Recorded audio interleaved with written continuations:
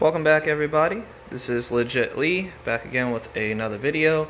Today I want to show you guys a problem that I'm having with the CO2 laser and I don't think it's exactly the laser tube because that's new, it's a 50 watt or the power supply because I'm going to give you some test examples and if anybody does know what the issue could be I definitely would like you know anybody to comment down below let me know what I can do but uh, let's go ahead and do a test shot so we can show you that the machine works. So this is a K40 power supply. It's rated for 40 watt or more, I'm pretty sure, of a CO2 laser tube. So if I go over here, there's a little button. Now there's no connection. I just plugged the. This is the connection that's supposed to plug into the controller. And this is all shielded wiring I want to mention. This is shielded on the inside, so it shouldn't have any kind of weird pulsing going on, hopefully. But um, down here there's a little red button. If I press that, it test fires the laser tube. And I have it out of the way where I don't get hurt or anything. Um, it's just going to shoot that piece of wood. So I'm going to get that all in one shot here. And you can hear it's shooting just fine and you don't see anything going on. Everything is running fine. My coolant issue is what 30, 20, was it? I can't even see because I got glasses. Uh, 23.6. So that's still in okay operating range, I guess. Um, probably could be better. Uh, we'll be adding some like water bottles or something to cool down the water some more or something. But right now, I just wanted to show you guys that the machine does have decent pulsing going on through just turning this on, right? So, now that we have that, let me go ahead and shut this off. I know the wiring is all over the place, kind of. And even my amp meter, I messed up and got a 5 amp instead of milliamp, so I gotta get a new amp meter. But I just have that in there for now until I swap out for a different one. Um, so I unplugged basically everything because cutting this power to the switch means cutting the power to the power itself. So everything is fine for me to touch. I mean, still, if you're working with something like this, I don't recommend anybody doing this stuff without proper safety. And, you know, obviously don't do what I do here. But, um, so I'm gonna plug this guy in. Can, there we go, push. And like I said, this is shielded wire, so I'm trying my best to get these issues hammered out. I didn't have this issue before, but I had an arc going, like literally at yesterday I ran the machine, was running fine, didn't have no arc. To yes, this morning had some arc going on over here by the power supply. So they said you need, you probably like I read the forums, you probably need to shield it better. So what I did was um, I tidied up the wires a little bit back here, zip tied uh, the, the this together because it was kind of hanging in circles and stuff, so I just kind of zip tied that together. But what I did to help with the shielding, I cut a piece of this tube. This is just regular like hose, PVC, not PVC, but like um, latex type of hose. So it's, you know, rubber hose is rubber shielding. So I cut a piece of that, put it on here where my connection is to the new power supply because I soldered that together and then I um, taped it with some black tape to keep it all nice and tight. And I did the same thing on the top of here. Same thing over here uh, for this one for the negative and same thing on the top for the negative as well. So all of it is properly properly uh, shielded for the most part where all the connections would have been made at. And then um, the only other thing I didn't try was the whole water issue that they were talking about. So I may try changing out my water because it could be a little contaminated because I know that when I was working on the other CO2 there was some stuff inside of there so it probably could be the water supply. I'm not 100% sure but if it is I'll change it out. But for right now I just want to show you that I did test fire and you don't see any weird pulsing. The, the machine was off once I just did the shots. So now that we got this plugged in, I'm gonna turn it on. It's gonna home really quick because everything is connected, powered on, and all that good stuff.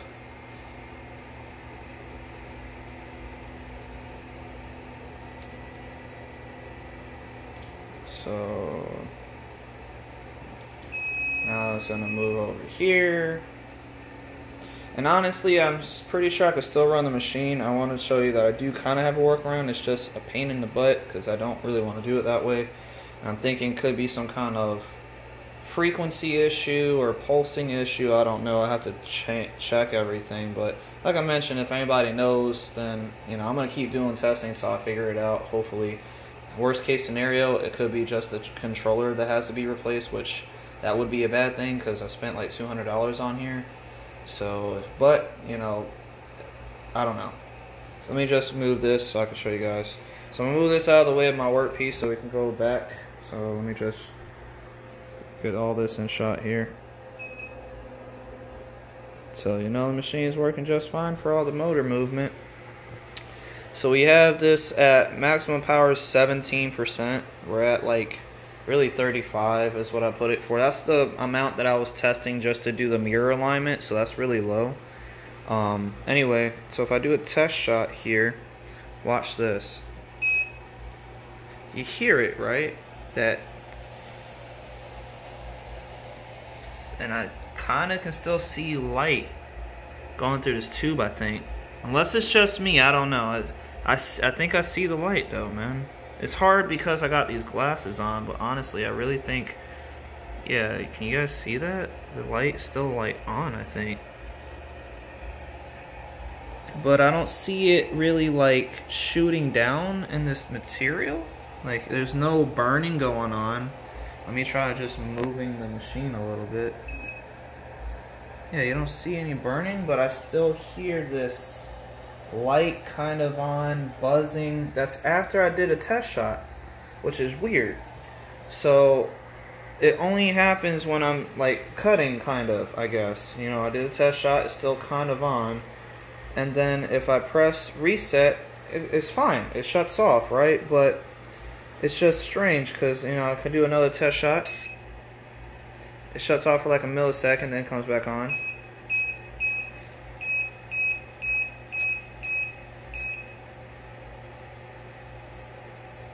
See? Now you hear it again.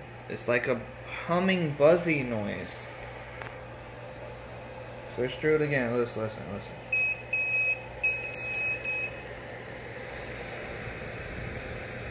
There it goes. There it goes again. And I'm not sure what is actually going on here. It's strange to me that this is even happening. So maybe the water, I don't know but honestly, it's very strange. I mean, I could try and plug in the USB. Maybe there's some kind of communication issue. But this is shielded wire too. The USB is shielded. So, and I still hear it. Let me just try doing another test shot. Still doing it, guys. I don't, I really don't know what's going on here. Okay, stopped, and now it's back on again. Then if I press reset, so you guys can see everything. Home.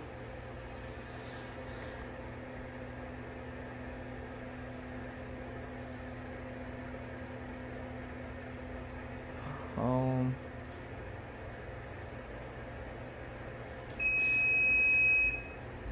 And then it moves to the center position.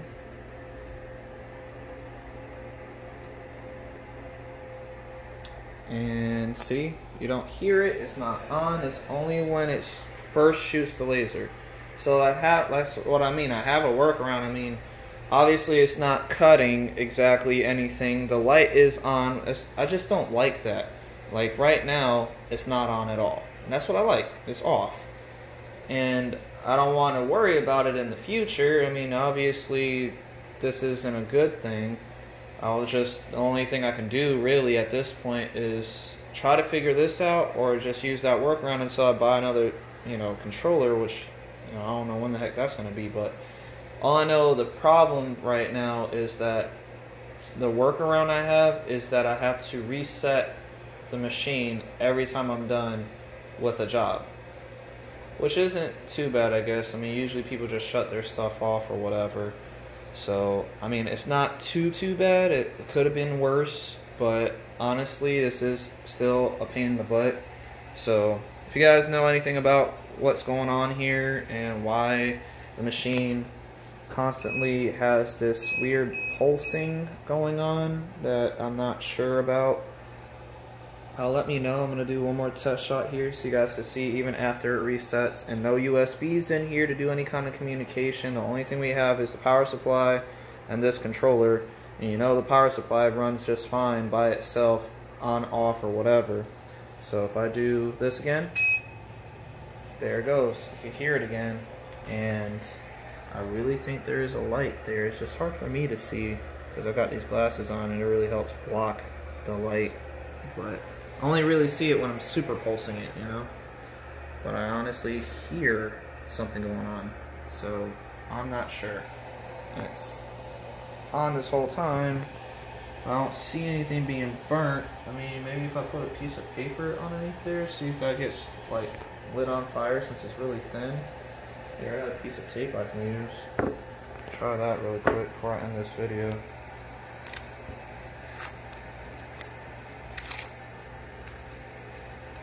Sorry if this video is real jerky, guys. This is just handheld phone action here. I'm just going to put it right here. So we got a piece of tape. Let me just move over to that coordinate.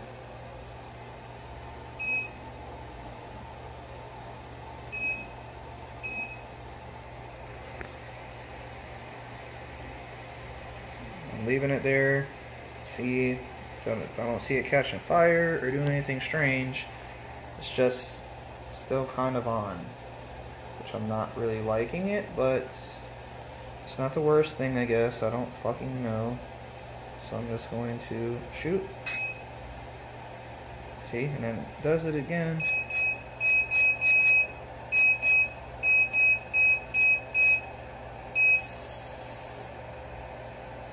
So we can burn and do stuff still. It's just, it's that weirdness that I'm not liking out of this laser tube stuff. So like I said, I'm going to try the water thing. You know, the water is distilled water at that, so I don't, you know, it's not like it's bad water or anything. I got it from Walmart. It's 100% distilled water. I made sure there was no minerals in it whatsoever. And I'm still getting this weird arcing thing going on with this tube not arcing, but just the tube seems like it's still kind of on, just not fully on. Maybe like 2% power or 1% power or something. I don't know.